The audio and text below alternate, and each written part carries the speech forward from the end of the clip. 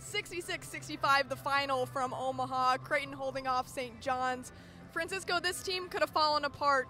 Down nine points. Baylor Scheierman gets a technical, but this team came together. How? Yeah, I mean, Coach Mack just said in the locker room, we, we stick together, especially down nine. Uh, people tend to like kind of go the, their, own, their own ways. Um, I mean, we got a great group. Uh, Coach Mack said it. Uh, we've been working since June for moments like that one. Um, so yeah, I mean, stay disciplined, stay together, and uh, whenever adversity hits, you know, uh, just stay cold, cold-minded, you know, and and stay, as I said, stay together. I think that's that was the biggest key right there.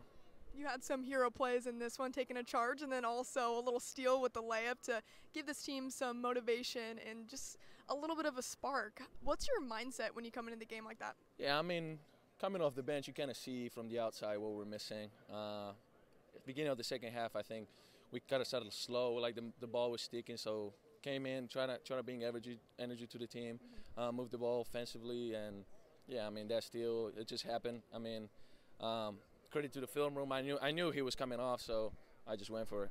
18 lead changes throughout this one. It was a great atmosphere in Omaha despite all the weather and the blizzard. How much did those fans help you guys today? No, it's unbelievable. Um, I've never been to, to part of anything like this. I probably never will again. Um, especially with how cold it outside is. I mean, the energy in here was unbelievable. Um, probably one of the best ones that I've been since I got to Creighton. Um, but yeah, credits to them. Uh, credit to them. Fourth consecutive Big East win. What is this team figuring out?